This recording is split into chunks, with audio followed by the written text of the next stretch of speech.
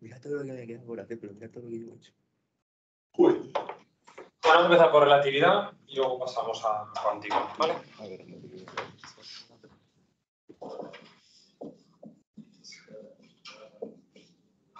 Vale, aquí tenemos como tres grandes bloques. Un bloque que tiene que ver con la relación de longitudes y tiempos cuando estamos entre dos sistemas. Normalmente lo que más os cuesta es definir cuáles son los dos sistemas. La velocidad que relaciona a los dos le llamamos U, pero no siempre damos la letra U como dato, o a veces está implícito en el enunciado, pero no se llama U, se llama de otra manera. Y típicamente U es la velocidad de S' vista desde, desde S o viceversa. ¿Vale? Y esto responde, es la versión, digamos, en una dimensión de la expresión esta que hemos usado, que nos dice esto, ¿no? V2 más V'1 visto desde 2, ¿no? Bueno, pues la U sería equivalente a esto. Cómo se mueve un sistema respecto al otro. ¿Vale? O sea, que no es una relativa. Esta relativa se refiere a cómo se ve este objeto desde 2. ¿vale? Pero la U, la que nos relaciona los dos sistemas, es, en la vida clásica sería esta V2. ¿vale? En la vida relativista le llamamos U, pero que viene de esa expresión generalizada. ¿vale? Entonces, uno de los bloques es, una vez que tenemos esto claro, distinguir entre tiempo propio Hola. Hola. Y esa idea de dilatación del tiempo, o lo que llamamos longitud propia, y la idea esa de contracción de la longitud. Entonces tenemos un parámetro, que es este parámetro gamma, que siempre es mayor que 1, que tiene infinito cuando u tiende a c. Por eso decimos que es imposible superar o igualar la velocidad de la luz. No hay objetos que puedan ir tan rápido, ¿vale? Tenemos aquí un infinito. Y si llama la velocidad de la luz, que es el fotón, ya de serie viene con esa velocidad, no aplica esta fórmula. ¿vale? Entonces, cuando hablamos de dilatación del tiempo, como esto es mayor que 1, lo que decimos es que un intervalo de tiempo en, en un sistema no propio a esa medida es gamma por el tiempo propio, que le ponemos ahí un cerito para distinguirlo. Y en cuanto a longitudes es al revés. La longitud medida desde el sistema no propio, es esta expresión de aquí. ¿Vale? Y ahora, la idea más importante de este como primer subbloque. Esto lo podéis enmarcar. Empiezo.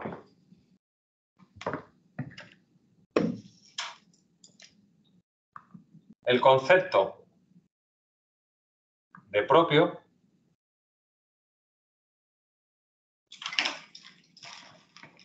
no está vinculado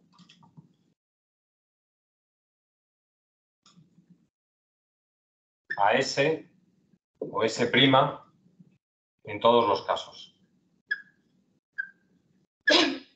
Es decir, no es que uno diga todo lo de S' es tiempo propio y todo lo de S no. No. Puede haber un tiempo propio de algo que se mida desde S y un tiempo propio de algo que se mide desde S'. O sea, no es, lo que quiero decir con esto es que esto no es el tiempo propio o la longitud propia no es una propiedad del sistema. Es una propiedad de la pregunta que nos estén haciendo. Por ejemplo, dos aviones, ¿de acuerdo? O, un pasajero en tierra y un avión que se mueve. El reloj que sujeta al que está en tierra mide su tiempo propio. El reloj que sujeta al tío que está en el avión mide su tiempo propio también. Lo habéis hay dos tiempos propios. ¿vale? Pero son dos preguntas diferentes. Por eso hay una. un- el problema es que hablaba del aeropuerto. O había uno que un cohete adelantaba a una persona en tierra y decía, no sé qué, el parpadeo, ¿no? El parpadeo, el tiempo que tarda en parpadear. ¿Vale? Pues ese es tiempo propio para el de la Tierra. Pero luego, lo que marca el reloj de la nave cuando pasa por delante marca cero. Y un segundo después ve que su reloj marca no sé cuánto. Pues eso es tiempo propio para la nave. ¿Vale? La longitud, lo mismo. Cualquier cosa que yo sujete es longitud propia para mí. Cualquier cosa en la que esté en un sistema, por ejemplo, esta mesa, tiene longitud propia para mí. Una nave que esté, un avión que esté pasando por arriba, lo que mide el pasillo del avión también es longitud propia, pero solo para el avión. Así que vuelvo a lo mismo, la longitud propia no es lo de la Tierra o lo del avión, es depende de qué pregunta me hagan. ¿De acuerdo? Depende de lo que yo vea. Entonces, como esto es un poco confuso, el segundo bloque es cómo puede sistematizar uno esto con las ecuaciones de Lorentz. No sé si es con con sin T, nunca me acuerdo.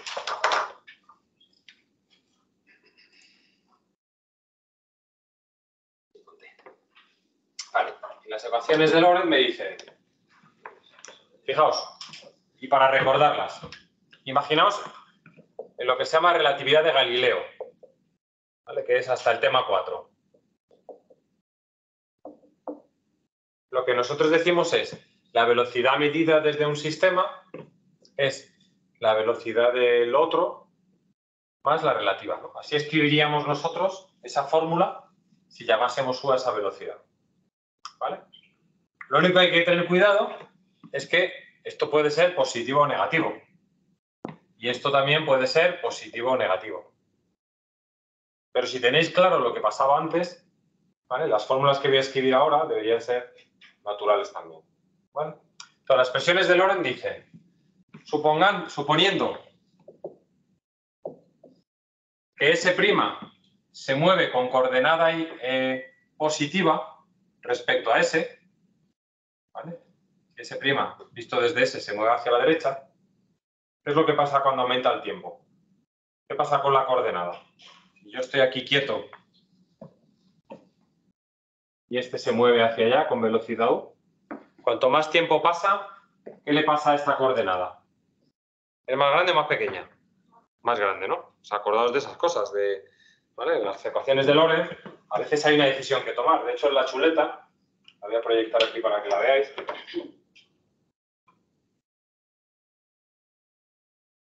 ¿Veis que dice aquí una frase así un poco misteriosa? ¿no? Dice, asumiendo que S' tiene velocidad positiva, cambiar a menos U en caso contrario. Aquí lo que me está diciendo es que estas fórmulas están escritas en el supuesto de que este se aleja hacia la derecha, no se, no se acerca, digamos, hacia la izquierda. ¿vale? Pero es lo que pasa también con Galileo. ¿no? Si, el, si, la velocidad, si yo integro esta ecuación en el espacio de Galileo, lo que me quedaría es el desplazamiento medido desde S será igual a más menos U por T más el desplazamiento relativo. Esto es lo que me diría la cinemática que vimos en el tema 1. Entonces veis que esto puede ser positivo o negativo en función de si va hacia la derecha o hacia la izquierda. Pero es la misma idea que toda la vida. Entonces ahora ya tiene sentido esta expresión. ¿Qué cambia? Que tenemos una gamma delante y que tenemos aquí el tiempo es diferente para los dos porque para uno es propio y para el otro no. Entonces, el equivalente a esta fórmula en Lorentz será x es igual a, lo voy a poner así, x' más u por t, ¿vale? Esto suponiendo que la u sea positiva. Esto sería lo que haríamos en Galileo. Cuanto más tiempo pasa, ¿vale? Más grande va creciendo esta coordenada. ¿Y ahora qué cambia en relatividad? Pues que todo va escalado y además el tiempo es diferente para cada uno. Luego esta expresión no es más que esta, que usábamos en cinemática, pero con un poquito de cuidado. ¿vale? Aunque yo os voy a dar las fórmulas, pero bueno, es bueno que entendáis, sobre todo para tomar esa decisión de si pongo más o pongo menos. Vamos con las demás. El tiempo es gamma de prima más ux' partido por c cuadrado. x' es gamma, ya si uno va con más, la otra va con menos. ¿no? Si uno se acerca, si uno crece hacia la derecha, el otro se hace más negativo cada vez. ¿no? Cuanto más lejos es este, más negativo me parece que está este, ¿no? A mi izquierda. Por eso hay aquí un signo menos, ¿no? Menos U por T. Y por último, T', gamma, T menos UX partido por T. Y luego está la esto es la equivalente a esta expresión. Y ahora está la equivalente a la velocidad, es mucho más fea. Que vale la velocidad en x vista desde S es igual a la velocidad u más la velocidad en x vista desde S', vista desde S', esta es la velocidad de S' vista desde x, ¿no? Esta es la fórmula de allí, la que hemos usado el otro día en la tutoría, ¿no? Por lo que ahora esto va corregido, 1 más u por v'x partido por c cuadrado. Y si despejamos, vemos que yo podría pasar esto aquí y despejar la v', pero bueno, también os la doy, v'x será vx menos 1, porque ahora la veo alejarse hacia allá, desde mi perspectiva, 1 menos vx partido por c cuadrado. Y luego, esto es si la relación es entre x' y x. Si fuese en el eje z, pues cambiaríamos aquí vz y vz. Y las otras no se enteran, es decir, vi se ve igual en los dos sistemas y vz se ve igual en los dos sistemas. Ya digo que esto solo, si en mi problema resulta que todo va en el eje x, si va torcido, pues ya. Entonces, tenemos dos caminos para calcular este tipo de cosas. ¿Cuál es mejor? Depende de cada uno. Yo creo que Lorentz tiene la ventaja de que siempre hay cosas fáciles de ver. Por ejemplo, si me dicen que en un cohete el, observador está en el pico del cohete, pues entonces su coordenada todo el tiempo va a ser cero. El pico para él va a estar en cero, de donde estoy yo, en mi sistema. Eso es fácil siempre de ver. Pero bueno, luego hacemos un par de ejemplos. Y nos falta el último bloque, que son las colisiones.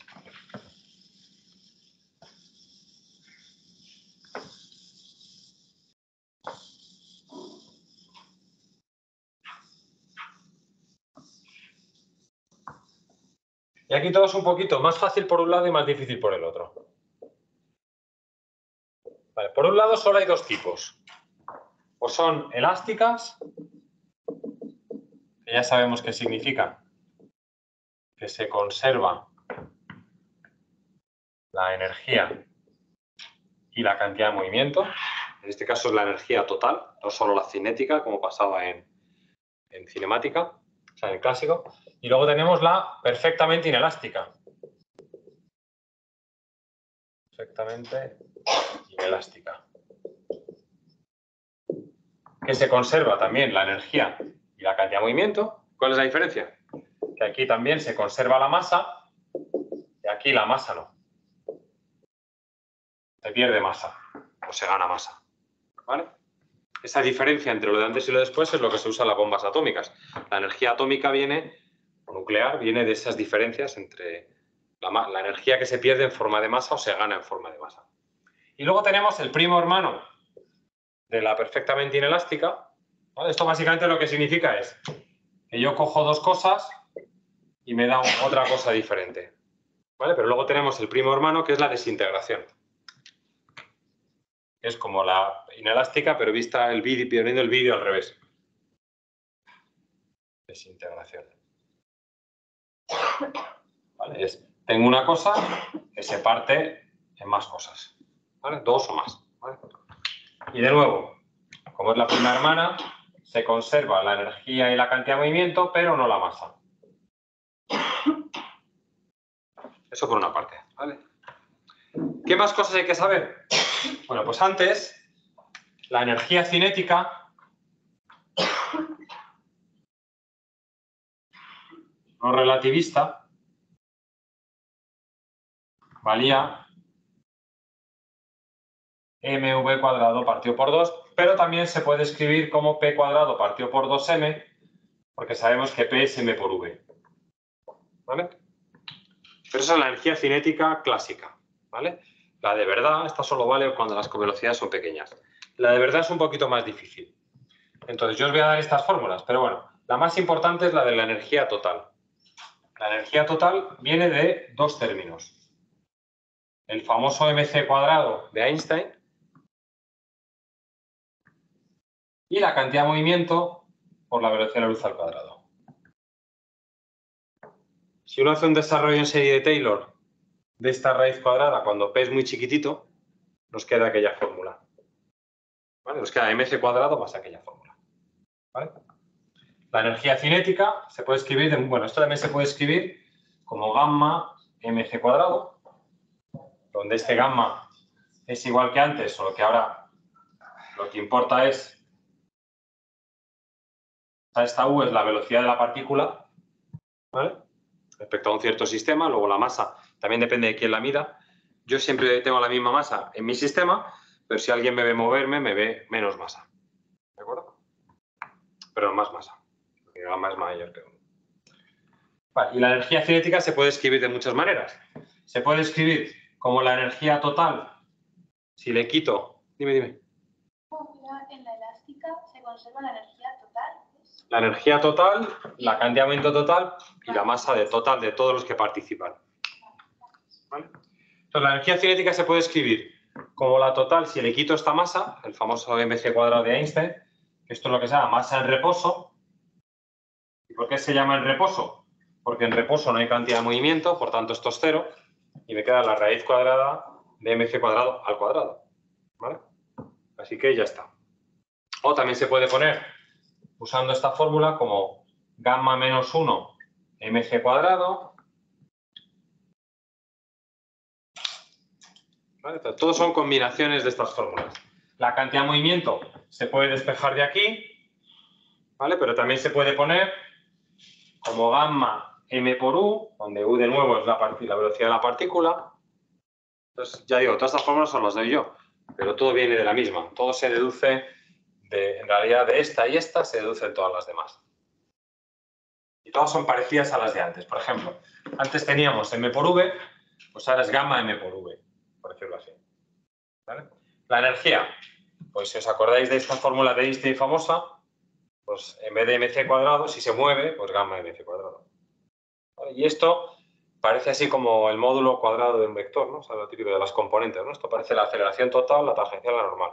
Eso tiene una aplicación por ahí esotérica, pero bueno, podéis verlo como que es el módulo cuadrado de dos componentes, ¿no? La velocidad y la energía de reposo. Pero bueno, ya digo que estas son las doy yo. Y ya está, no hay más. Esto es toda la relatividad. Dicho así, parece fácil. Entonces, ¿dónde están los cuellos de botella, los problemas? Está en identificar bien los sistemas de referencia. Si hay dos o hay tres. Normalmente hay dos, pero a veces hay tres. Pero normalmente pensáis que hay tres, porque veis tres velocidades y no sabéis cuál es cuál. El siguiente problema es identificar qué es tiempo propio y qué no lo es. Y en el caso de colisiones, pues saber qué ecuaciones usar, claro. Y de nuevo, todo esto es en tres dimensiones. Entonces, en tres dimensiones hay que ver qué es lo que se conserva. Cuando yo digo que se conserva esto, se conserva el vector. ¿Vale? Bueno, ya, preguntas. Eh, yo tengo una pregunta respecto a las ecuaciones esas de De Lorentz. y no y la otra, la del tiempo igual a gamma Sí. O sea que nunca sé como cuándo usar una y cuándo no O sea, en realidad puedes usar la- esta, ¿no? Esta es la misma que esta, de alguna manera, ¿vale? Cuando estás midiendo en la misma coordenada, si te das cuenta, imagínate que yo empiezo con los dos relojes sincronizados a cero, ¿vale? Y ahora me dicen, eh, el tiempo propio es el que pasa en el sistema en el que tú tienes el reloj. Si yo estoy sujetando un reloj, la coordenada del reloj es la misma siempre en ese sistema. Luego la x' sería igual en los dos instantes. Entonces, si yo cojo y resto esto menos lo que pasaba al principio, se me iría esta parte porque es la misma y me queda la expresión de arriba. Aquí el tiempo propio sería este porque sujeto el reloj. Pero si el reloj donde estás en el otro sistema, en el sistema S, lo que no cambia es esta coordenada X. Entonces, si te das cuenta ahora, el tiempo propio sería el del sistema de la Tierra y el que no lo ve, pero vuelve a ser la misma fórmula. El intervalo de tiempo es gamma por el tiempo propio. ¿Cómo sé que es propio? Porque tengo la misma coordenada en los dos eventos. El parpadeo, ¿no? Está en el mismo sitio respecto a mi X, pero distinto respecto a la prima. Y la longitud igual. Si no coge cualquiera de estas, si yo estoy en mi sistema, los, los dos extremos del boli, por ejemplo, los, los tengo en mi sistema en el mismo instante. Es coordenada cero y esto es 10 centímetros o 15 o lo que sea. Pero lo veo en mi sistema en el mismo instante, porque no me estoy moviendo. En cambio, si alguien se mueve, cuando le llega la, la luz de este y le llega de este, el objeto ha seguido moviéndose. Entonces, en ese caso, ¿qué pasa? Que mi tiempo es el mismo, ¿vale? Y entonces es el otro el que está viendo una componente diferente. Esa es un poco la idea.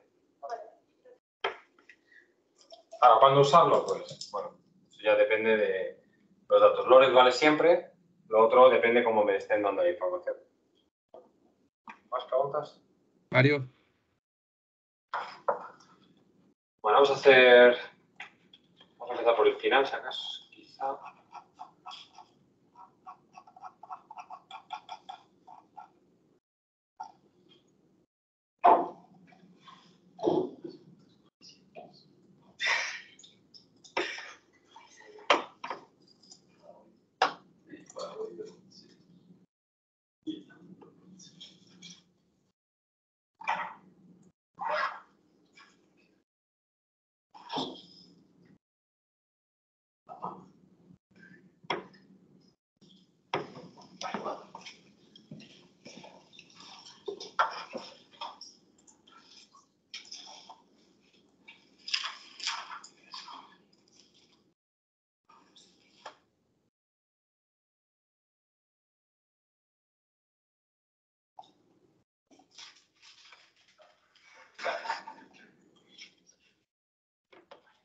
Vamos a hacer este. Este es el de diciembre, como ya sabéis. Matar, eh. ¿Eh? Este ejercicio puede matar. Bueno.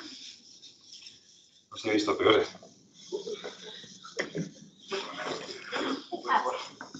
Bueno, dice, un núcleo de deuterio se desintegra emitiendo un neutrón hacia la izquierda y un protón hacia la derecha. ¿vale? Estamos en esta parte de la desintegración. Pero no me, no me piden nada de ella, de hecho. El protón tiene energía cinética K sub 0 y se mueve paralelo al eje X donde realiza una colisión elástica. Ya sé que se conserva la energía y la masa y la cantidad de movimiento, ¿vale? con otro protón en reposo, ambas velocidades referidas a lo observado en la Tierra. Tras la colisión, los protones viajan con ángulos iguales respecto al eje X. Este sale para arriba, este sale para abajo, pero con el mismo ángulo. Calcular la velocidad inicial del protón móvil, ¿vale? que es este de aquí. El ángulo que forman los dos protones tras la colisión. Y luego, sabiendo que el neutrón salió hacia la izquierda con esa velocidad, calcular el vector velocidad del protón referido al sistema de referencia que viaja el neutrón. Bueno, esto me suena a mí a eh, algo de Lorentz, ¿no? de velocidades relativas, etcétera, y esto me suena a colisiones. Así que vamos a analizar las colisiones. Bueno, en realidad este es más fácil porque me está pidiendo la velocidad inicial. Me están diciendo que la energía cinética es K sub 0. Lo que me está pidiendo es cuánto vale la velocidad inicial de ese objeto. Esto ya es combinatoria. De estas fórmulas, está aquí abajo, pues casi buscar la que más nos guste. Entonces tenemos varios caminos. Fijaos que me están pidiendo también la cantidad de movimiento inicial. ¿vale? O sea que por un lado quiero calcular esto y por otro lado quiero calcular la velocidad que va aquí dentro. ¿vale? Pero fijaos que la propia cantidad de movimiento, esta es la velocidad que me están pidiendo. Así que si calculo, si calculo esta velocidad, saco la cantidad de movimiento y viceversa. Y luego la pregunta es cómo puedo sacar esto. Por otro lado, lo que os decía, la energía total la puedo poner como cinética más reposo. Esta me la están dando, la masa del, del protón, y me están dando la energía inicial. Luego con esto podría calcular, por ejemplo, la energía total. ¿Vale? Otra fórmula que puedo usar, que no está aquí, porque es la que he dicho antes. La energía es gamma por mc cuadrado. Si conociese la energía, tendría gamma. ¿Vale? Y si tuviese la cantidad de movimiento y gamma, tendría la velocidad. Entonces, si yo divido, esto es una manera de hacerlo, ¿eh? Si yo divido, ves que se me va la gamma y ya tendría U como función de P y de E, por ejemplo. ¿Vale? Entonces, veis que puedo elegir varios caminos alternativos. ¿Vale? ¿Cuál es el más rápido? Pues no lo sé, no está muy claro nunca. Pero podemos, podemos intentar explorarlo. Por ejemplo, como yo ya tengo la energía cinética, ¿vale? no me cuesta nada sacar la energía total. Así que vamos a calcular la energía total. Volvemos a los datos.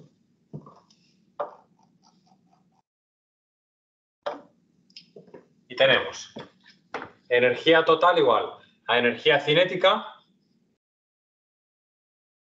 más mc cuadrado. La m es 938 megaelectronvoltios por c cuadrado y al multiplicar por c cuadrado se me convierten en estas unidades tan raras ¿no? que estamos usando de megaelectronvoltios. Así que esto nos queda 8, 7, 8, ¿no? 8, 3, 7, vale. Vale, ya tenemos la energía total. Esto es una manera. ¿Vale? ¿Podemos sacar la P? Pues sí, la P ya es automática, porque de nuevo, E cuadrado es mc cuadrado cuadrado más p cuadrado c cuadrado. Así que también podría despejar la p de aquí. Por tanto, esto me queda raíz cuadrada de 1878 cuadrado menos 938 cuadrado. ¿Vale? Esto sería PC realmente. ¿vale? A tener las unidades. Lo que de eso no sé cuánto da. Calculador. Y ahora, una vez que saco este numerito, lo que decía, ¿no? Como yo sé que P es gamma MU y yo sé que la energía es gamma MC cuadrado, si yo divido me ahorro calcular la gamma. A mí no me gusta calcular la gamma porque son raíces y cosas y al final es un rollo, por eso estoy haciendo esto. Pero veis aquí ya que me queda, y la M se va también. Esto me quedaría PC cuadrado partido por E. Entonces ya hemos calculado la P de esta fórmula, que me lo pedían también, y de aquí sacaríamos la U. ¿Vale? Es que es un poco de casuística. Ya digo, se puede sacar antes de la gamma, porque tenemos, lo voy a poner aquí, K es gamma menos 1, mc cuadrado, luego nos quedaría gamma igual a 1 más K partido por mc cuadrado, así que esto sería 1 más 940 entre 938, que va a ser 1 y un poquito. Y ahora, como esta gamma es 1 partido por raíz de 1 menos u cuadrado partido por c cuadrado, pues de aquí despejaríamos. Y me tiene que dar lo mismo. Cuidado con los redondeos. Si tenemos velocidades pequeñas, no podemos redondearlo a cero, porque entonces nos queda gamma igual a 1 y no hay relatividad que valga aquí. Aunque gamma sea 1,0000000, hay que guardar ese 000. ¿Vale? Venga, preguntas. Vale, esto era de calentamiento para tener todos los ingredientes para la colisión. Mario, me ha dicho Carlos que leas el chat. Sí, señor.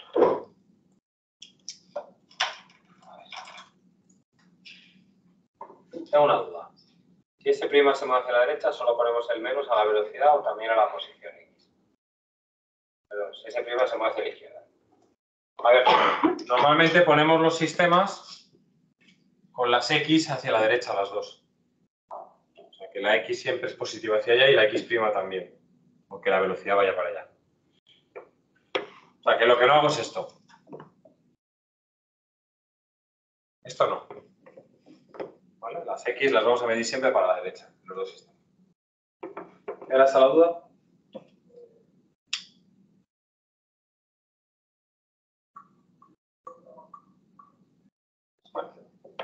Vale, vamos con la colisión.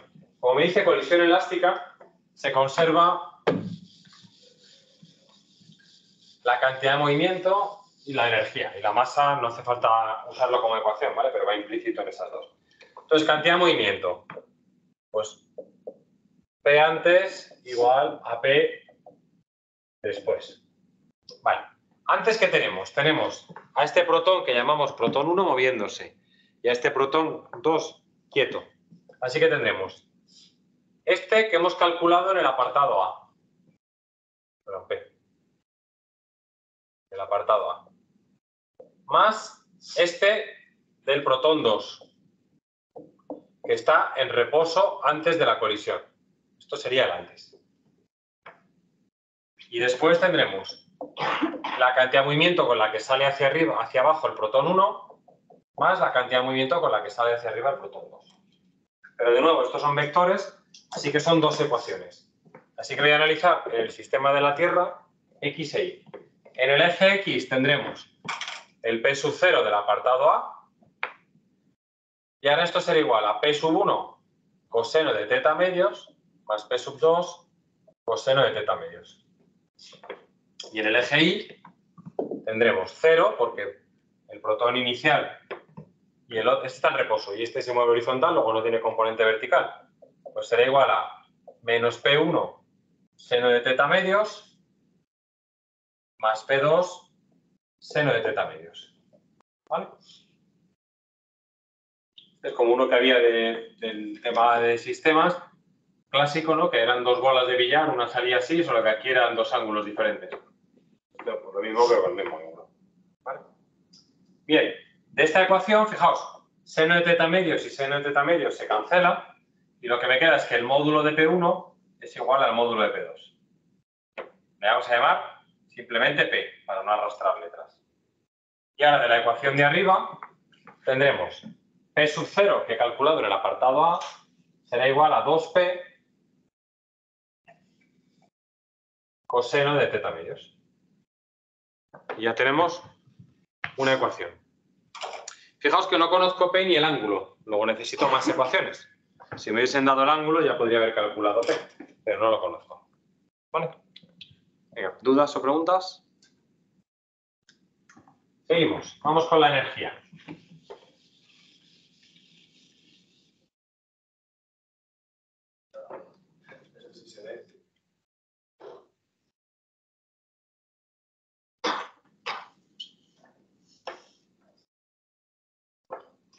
Vamos con la conservación de energía. Lo mismo, la energía antes, ahora es un escalar, igual a la energía total después. Aquí mucho cuidado. ¿Qué energía tendría antes? Pues es la energía que hemos sacado en el apartado A. Está por ahí escrito todavía, ¿no? 1878 megaelectronvoltios. ¿Cuál es la energía inicial del protón 2? Está en reposo. Eso significa no que no tenga energía, sino que toda la energía que tiene es la energía esta de Einstein del reposo. Así que aquí advertencia, esto es un fallo muy común, dejarse esto fuera, ¿vale? Que no se os olvide. También tiene energía, el que está en reposo. Lo que no tiene es cinética, ¿vale? Y esto será igual a la energía de salida del protón 1 más la energía de salida del protón 2. Y ahora tiramos de fórmula. La energía del protón 1 será su masa en reposo más su cantidad de movimiento, pero le hemos llamado simplemente P, porque hemos visto que era igual a la otra. ¿Cuánto vale la energía del otro? Pues su masa en reposo al cuadrado más su cantidad de movimiento, que de nuevo le podríamos llamar P sub 2, pero hemos visto antes que se llama P. Así que son iguales. Por tanto, tenemos otra segunda ecuación que me dice E sub 0 más mc cuadrado igual a dos veces raíz cuadrada de mc cuadrado cuadrado más pc cuadrado. Esto lo hemos calculado en el apartado A. Esto es dato. Esto es dato. Esto es incógnita. De ahí sacamos la P y de la otra ecuación sacamos el ángulo. Dos ecuaciones con dos incógnitas.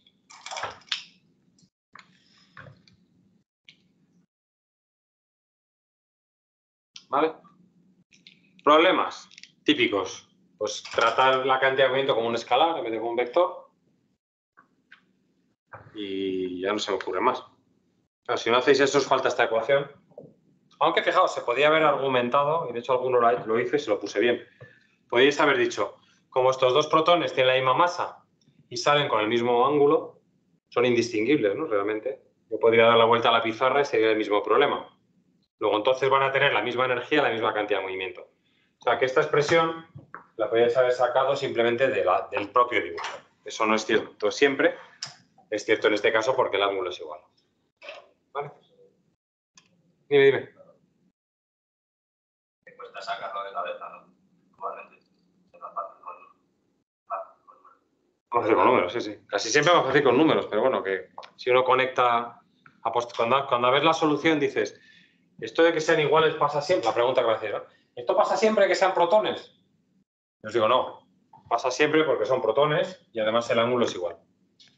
Si no fuesen los dos con la misma masa o tuviesen ángulos diferentes, no valdría. Imagínate que ahora en el examen pongo lo mismo, esto es un protón y esto es un neutrón. Aunque sea el mismo ángulo, ya no vale eso. ¿Vale? O sí. Lo dejo a vosotros. Bueno, vamos con el último. nos dice, saliendo que el neutrón salió hacia la izquierda con esa velocidad vista desde el suelo, calcular la velocidad referida al sistema de referencia al que viaja el neutrón. A ver. Que viaja con el neutrón. Ah, vale. Me están pidiendo la velocidad de este visto desde un sistema que está con este neutrón. Entonces, la Tierra es S. Este de aquí es S', porque viaja con el neutrón. ¿Vale? Y este viaja hacia la izquierda. Luego en las fórmulas de Lorentz esto es un menos. ¿De acuerdo? Y me están pidiendo la velocidad de este otro. Fijaos, como este sistema se mueve hacia la izquierda,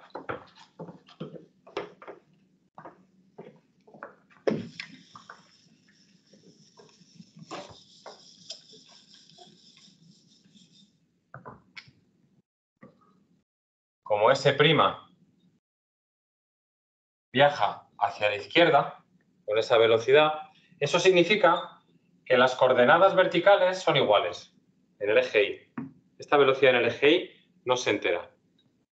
Y ahora la velocidad en el eje X hay que usar las fórmulas de Lorentz, pero cambiando el signo. ¿Vale? Yo lo que quiero ver es la velocidad relativa a S' de este sistema. Entonces esto será.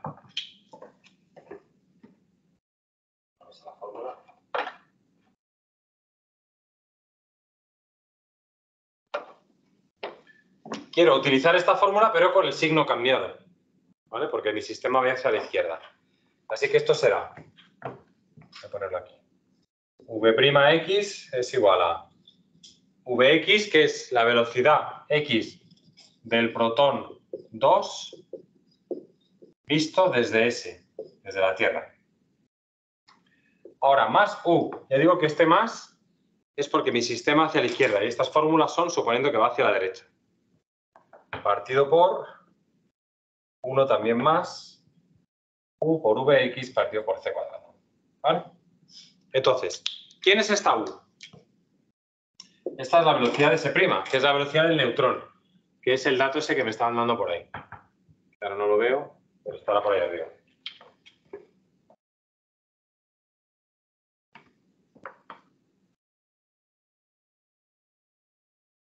Más arriba. 0,8C. Voy a ponerle 0,8C, pero hacia allá. Ya no le pongo el signo, ¿vale? Porque el signo está implícito aquí. Así que solo me quedo con el módulo. Esto es la U. Ahora, Vx no lo conozco. Y Vi tampoco lo conozco. Pero conozco P. P lo hemos calculado en el apartado B. Y yo sé que P vale gamma por MU. ¿Vale? Entonces esto lo separo en dos componentes. ¿Vale? Y de ahí saco la velocidad en X y la velocidad en Y. Lo sustituye en la otra fórmula y problema resuelto. Está un poco pastiche para meter las otras fórmulas, pero bueno. O sea, esa U, perdón, del momento sería... la- Esta- esto es lo que llamábamos, esto sería la velocidad del protón 2. Ya no es la de antes. Velocidad del protón 2. Esto se llama igual, pero bueno. Pues digo que hay que tener mucho cuidado con la anotación. Las fórmulas son genéricas, pero luego hay que aplicarlas en cada caso. Variantes. Pues yo qué sé. Podrían habernos, haber empezado el problema antes, ¿no? Con la desintegración. Podrían haber dicho, esto se desintegra de esta manera. De hecho, para estudiar la desintegración, aparte del protón y el neutrón, me faltaría, eh, no sé, es un neutrino o un fotón. Es decir, que falta otra cosa que también tiene energía, pero eso nos daría igual. Otra variante, ya solo veo este protón 1 y me dicen que colisiona con otra cosa y se quedan, un- y forman una nueva partícula unida, ¿no? Imaginaos, si un protón y un neutrón se quedan unidos, eso es el núcleo del deuterio. El deuterio ¿vale? Es como un hidrógeno, pero con un neutrón extra, es un isótopo, ¿vale? Que es precisamente el deuterón este que me estaban diciendo aquí. ¿vale? O sea, sería una fa- manera de fabricar, que así es como se fabrica ahora en, en aceleradores de partículas. Cuando uno quiere deuterio, no espera a buscarlo a una mina. Lo puede fabricar de una, una colisión entre hidrógeno y neutrones. Bueno, no sé. Más variante, pues poner otras masas, otros ángulos, no sé. Es que tampoco da mucho juego a las colisiones. Vamos a hacer de los otros. Yo creo que cuestan un poquito más.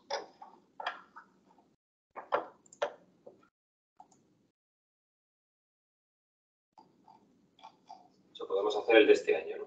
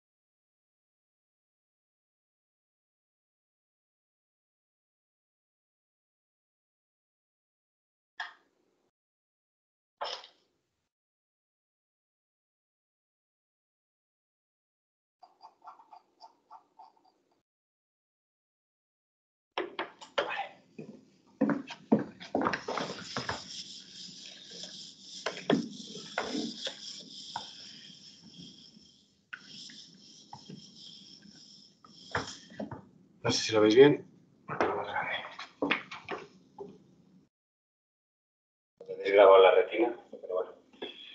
Dice, dos satélites GPS idénticos de longitud de cero están realizando una maniobra de alejamiento de la Tierra a velocidades UV y VB relativas a la Tierra.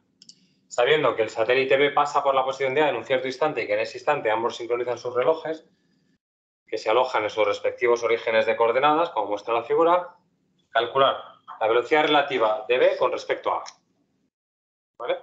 Entonces, esto es lo que es lo que en física clásica llamamos V'B visto desde A. Si usamos la física clásica, para que a veces ayuda antes de empezar a hacer fórmula, diríamos que esto es VB menos VA, ¿verdad?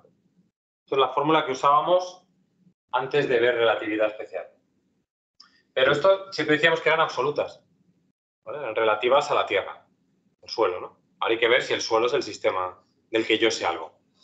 Fijaos, esto es Galileo. Ahora la pregunta es, ¿qué información tengo yo? Pues me dicen, conozco las velocidades respecto a la Tierra y me están pidiendo la de B visto desde A. ¿No? Sí. Luego para mí, A va a ser el sistema S' y la Tierra va a ser el sistema S. Gente que empezó a S, S' y S segunda. Porque me ponía el sistema, ¿vale? Es otro sistema, pero no ese no me vale para nada. ¿Veis? Aquí hay como tres sistemas.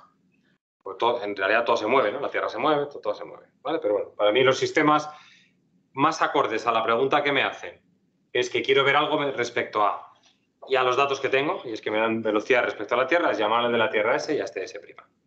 Y ahora, visto desde la Tierra, ¿este se aleja? Sí, ¿no? Pues entonces, esta VA es la U. Y además es positiva, porque el cohete se aleja de mi sistema de la Tierra. Entonces, la U famosa de las fórmulas es VA. Y lo que me están pidiendo es V'. Así que voy a Lorenz y tendremos V', podemos ponerle subíndices. B visto desde A será la velocidad de B vista desde la Tierra menos la velocidad de A vista desde la Tierra, VB, VA partido por C cuadrado. ¿Veis que no he puesto la U por ningún lado? Esto es lo que la fórmula de Lorentz se llama U.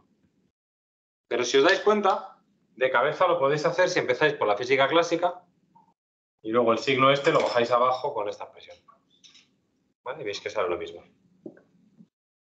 Si cogéis la fórmula de Lorentz, que está por aquí. ¿Veis que es esta fórmula de aquí, no lo veis? Y hay un menos arriba y un menos abajo.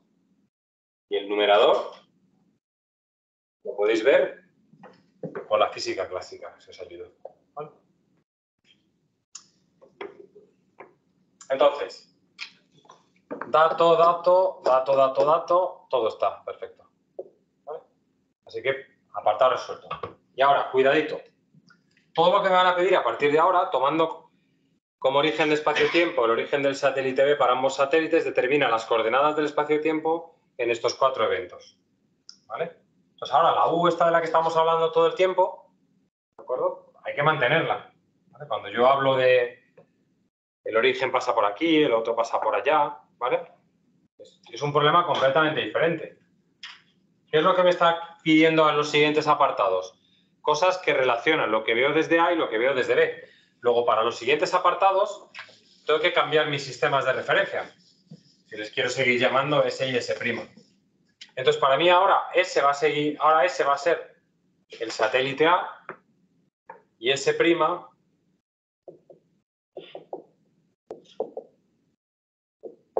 va a ser el satélite B.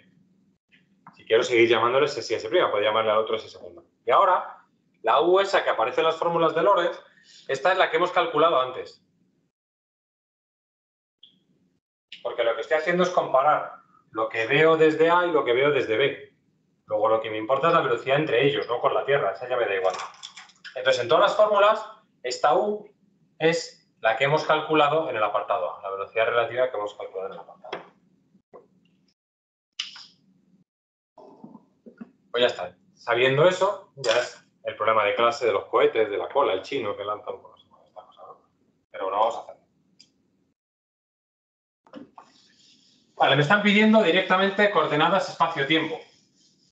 Luego lo que me están diciendo es, dame la X, la T, la X' y la T' de todos esos eventos. a mí me gusta hacer una tabla, porque me ayuda a pensar.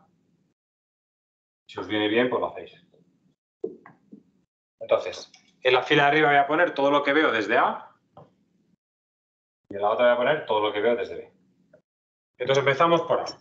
Primer evento, el origen de A pasa por el origen de B. Como me ha dicho antes que los orígenes están justo en el morro y que sincronizan los relojes en ese instante, voy a poner, a ver, la notación que voy a usar es posición y tiempo. Estos paréntesis son posición y tiempo. Lo de aquí arriba va a ser xt y aquí x'T'. Entonces, apartado B. El morro está en el origen y es sincronizado mi reloj a cero. Visto desde B, el evento que me están hablando, que los dos morros se cruzan, también desde B ocurre en su morro. Luego su posición vista desde B es cero y el tiempo se ha sincronizado. Esto me lo han dado. Ya está. Vamos con C.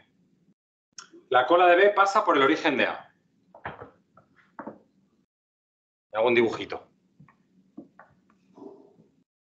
Entonces S, tenemos el satélite, tenemos el otro satélite. Esto es B, esto es A, esto es S'. Vale. Recordemos que lo, el que manda siempre en estas decisiones es el que lo ve desde su origen. Fijaos que A está viendo, mira por la ventanilla y ve el culo del otro satélite pasando por delante.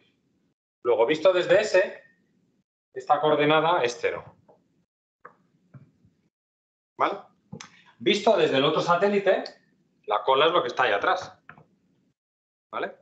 Y como yo mido siempre la longitud de mi satélite, de mi nave, de mi cohete, cuando lo fabrico ¿no? y estoy montado en él, pues esto será menos la longitud natural que tiene ese cohete ese satélite.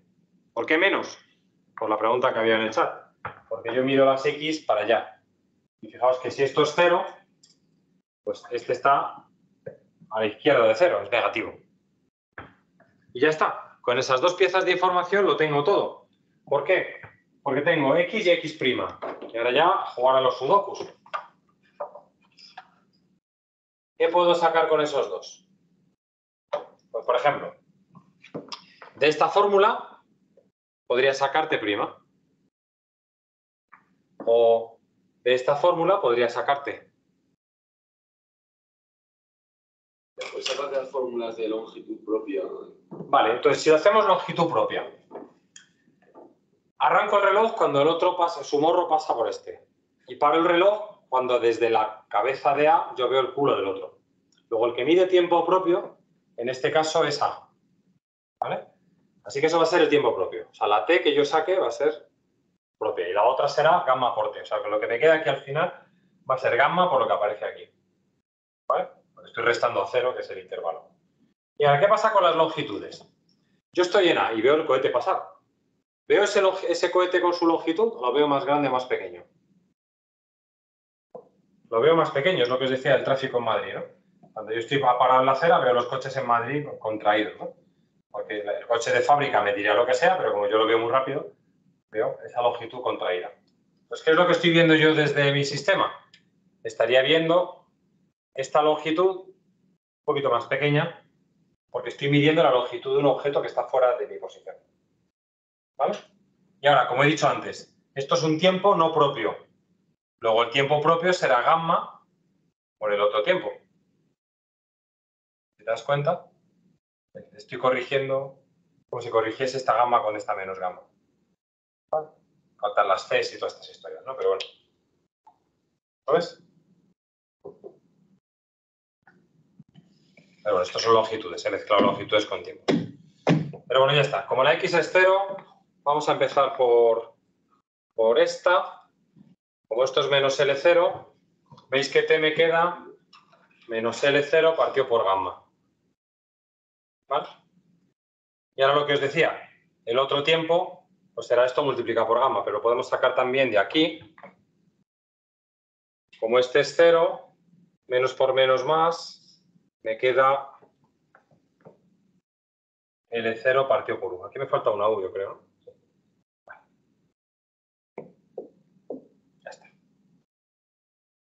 Entonces ves que este tiempo es más grande que este tiempo.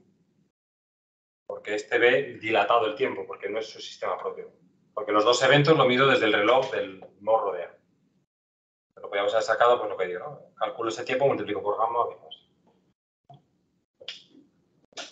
Bien, vamos con D. La origen, la origen de B pasa a la cola de A. Esto lo he escrito en ruso. La origen de B pasa a la cola de A. ¿Vale? ¿Qué tiempo es este? ¿Qué evento estoy midiendo aquí? Esto ocurrió antes de que empezase a sincronizar. Este es A. Y el otro está justo aquí. Esto es la cola de A. Y el sistema justo coincide aquí. ¿Vale? Entonces, esto me va a quedar tiempos negativos. De nuevo, si lo hacemos por contracción y dilatación, es confuso, pero si lo hago por coordenadas es muy fácil. ¿Qué coordenada tiene este punto visto desde aquí? Menos L, ¿no? menos L0, porque está dentro de su sistema y es lo que mide. Cuando compré el satélite en la tienda de satélites es lo que me decía que medía. ¿Qué coordenada tiene este punto desde este otro? Cero, ¿no? Pues entonces, aquí pongo 0 y aquí pongo menos L0. Y ahora ya sudoku. Con X y X' que puedo sacar. Me va a quedar tiempos negativos. Tiempos negativos es tiempo antes de sincronizar. Y en el CD, ¿eso es un tiempo negativo? Eh, probablemente haya hecho alguna cosa mal al despejar. ¿eh? Creo que esto es un más, porque puse aquí este 0, como este es negativo, se me va con este. Sí, perdona, esto es más. ¿Vale? Y ahora vamos a hacer, si x' es 0, me cargo este y me queda que t vale x partido por u. Entonces me queda menos, ahora, menos L0 partido por. ¿Ves? Es tiempo negativo. Y ahora, si x' es 0, me puedo cargar este y me queda t, t' este partido por gamma. Así que es menos L0 partido por gamma. Entonces es un poco lío al principio, pero si lo pilláis es más fácil. Es casi solo un poco